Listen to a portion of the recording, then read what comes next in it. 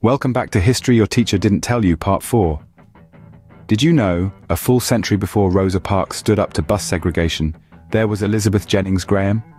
This free woman, living in the heart of New York City, boldly became one of the first black women to ride a whites-only horse-drawn streetcar back in 1855.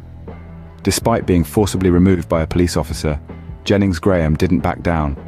She took a stand and sued, winning a sum of $225.